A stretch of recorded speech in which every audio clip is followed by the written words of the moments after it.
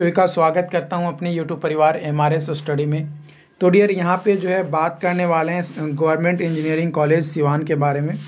तो उसके तरफ़ से मैंने कॉलेज की वेबसाइट पे आप देखिएगा तो एक नोटिस आपको जो है फ्लैश होगा, जिसमें बोला गया है कि आपका जो है दिवाली और छठ पूजा के शुभ अवसर पर जो है यहाँ पर जो भी पढ़ाई है है ना, उसे अभी स्थगित किया गया है। मतलब छुट्टी दिया गया है आपका, है ना? कार्य स्थगित रहेगा पठन पाठन का।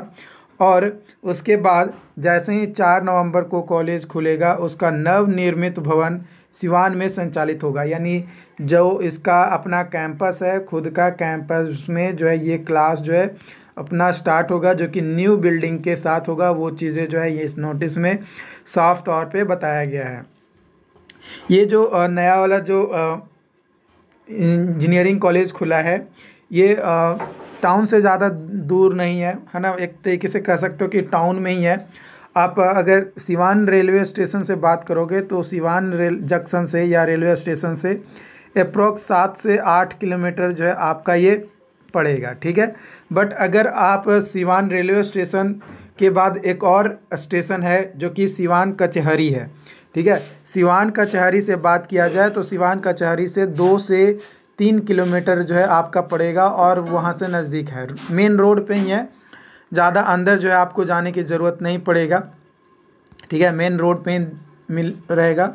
और यहाँ पे एक चीज़ और बताया गया है कि जो लोग हॉस्टल लेंगे, क्योंकि नया जो भवन बनाया गया है यानी नया जो कॉलेज बनाया गया है, उसमें जो है क्लासेस स्टार्ट होगा तो जो लोग छात्रवास लेंगे, यानी हॉस्टल लेंगे, उन लोगों को रूम भी, यानी रूम अलाटमेंट जो है चार नवंबर को ही किया जाएगा, जो, जब कॉलेज खुलेगा, ठीक है? उसके बाद उसमें जो है हॉस्टल मेंटेनेंस चार्ज जो है छः हज़ार रुपया दिया देना पड़ेगा आपको आप छः महीने के लिए, है ना? प्रति सेमेस्टर एक सेमेस्टर के लिए तो एक सेमेस्टर आपका छः मंथ का होता है। तो छः मंथ का जो है छः हज़ार, यानी वन थाउज़ेंड पर मंथ के हिसाब से जो है आपको यहाँ पे जो है लगेगा। वही जो लोग अभी फोर्थ सेमेस्टर में हैं, जो लोग जो भी स्टूडेंट फोर्थ सेमेस्टर में है, उनको जो है इस सेमेस्टर में तीन ही महीना का जो है पैसा लगेगा, जो कि तीन हज़ार उनका जो है लगेगा। ओके? आई होप कि ये चीज़ें आपको समझ में आई हो। चलिए कॉलेज का कुछ बिल्डिंग का जो है इमेज वगैरह देख लेते हैं।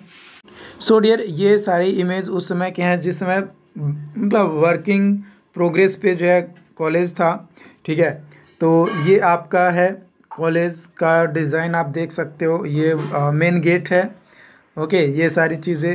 आई होप कि ये आ, समझ में आया हो। अगर फिर भी कोई डाउट्स रहता है कोई भी कन्फ्यूज़न रहता है regarding any things about engineering college और मेडिकल कॉलेज से रिलेटेड तो आप बिल्कुल कमेंट कीजिएगा, आपकी हेल्प की जाएगी। Thank you so much